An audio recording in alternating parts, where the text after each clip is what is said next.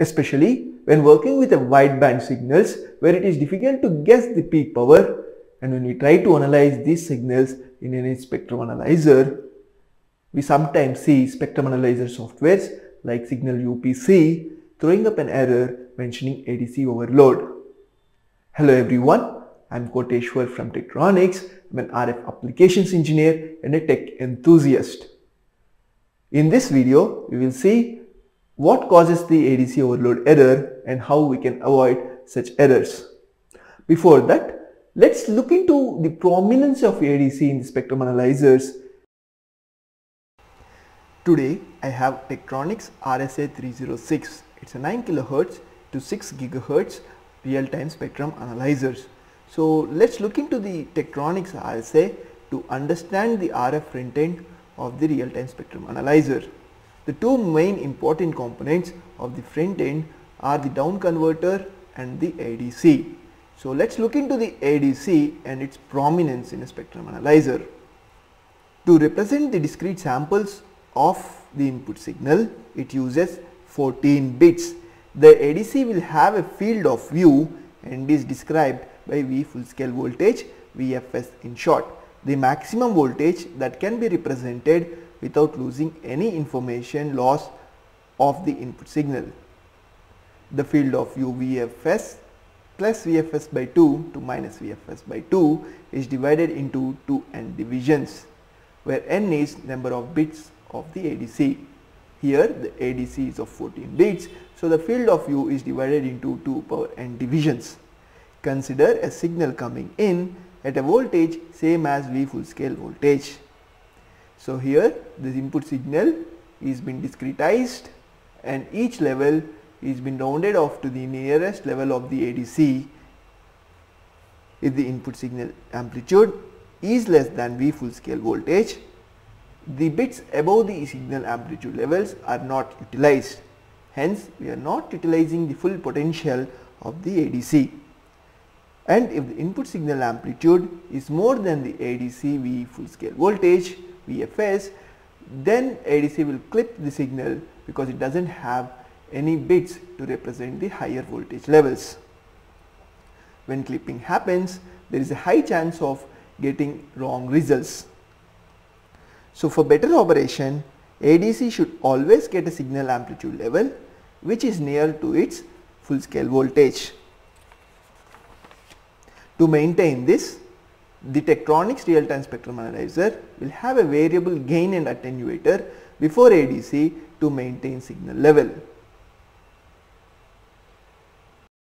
So, the amplifier and attenuator in the RF front end before the ADC input are responsible to maintain the input signal amplitude near to the V full scale voltage of the ADC. Let's look into the spectrum analyzer software to understand the settings required to control the RF front end attenuation factor and the gain. Here is an example where ADC is clipping the input signal and SignalVu-PC is throwing up a warning mentioning ADC over range. So let's see the settings to control it. One easy way is using reference level. Reference level meaning the reference level for the signal analyzer saying that would be the maximum input signal's amplitude expected. So when we set a reference level of 0 dBm, that means spectrum analyzer is, will expect a signal with a maximum amplitude of 0 dBm. So let's change the reference level from 0 dBm currently to avoid the ADC overrange error. So here I am changing the reference level and when we change the reference level we can see the ADC overload error is not showing up now. So let's understand by changing the reference level how the attenuator settings have been changed.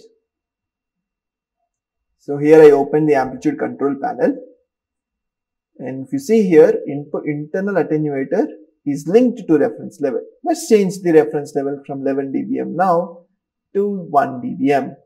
So notice that input attenuator also changed accordingly. And back it shows the data acquired has ADC over range. So remember reference level is now connected to input attenuator. Let's disconnect it. So let's change the input attenuator settings. I'm unchecking it back and increasing the attenuator to avoid the ADC over range. I changed it. Now if you see the error is gone. So easiest way of doing is through reference level and reference level also sets the y-axis display. So when you want, when you don't want to change y-axis and when you want to avoid ADC over range, you need to go to amplitude settings and check the auto button. To summarize the discussion we had till now, always ensure the reference level is equal to the expected maximum input signal's amplitude. Generally, the reference level is connected to the attenuation settings. Always ensure by checking this by going into amplitude control panel and the checkbox should be ticked. When it is not, you can tick the back and it will automatically set the attenuation settings when you don't want to change the y-axis and want to change the input signal's amplitude at ADC input, we can increase or decrease the input attenuation factor directly by the control in amplitude control panel. Thanks for seeing this video. If you like, please share it with others and please subscribe to the channel where we will be posting all tech videos